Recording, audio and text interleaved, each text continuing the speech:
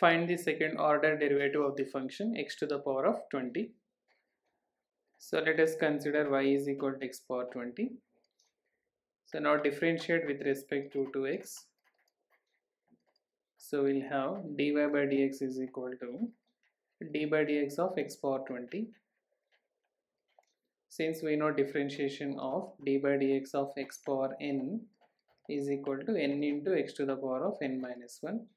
so we can write dy by dx is equal to 20 times of x to the power of 20 minus 1 that is 19 so this is one time differentiation. So again differentiating again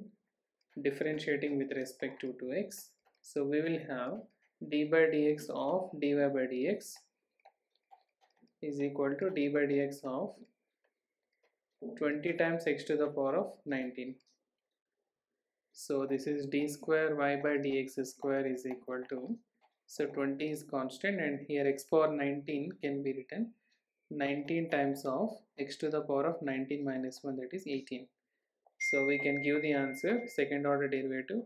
d square y by dx square is equal to 380 times x to the power of 18 so that's the answer. Okay? Thank you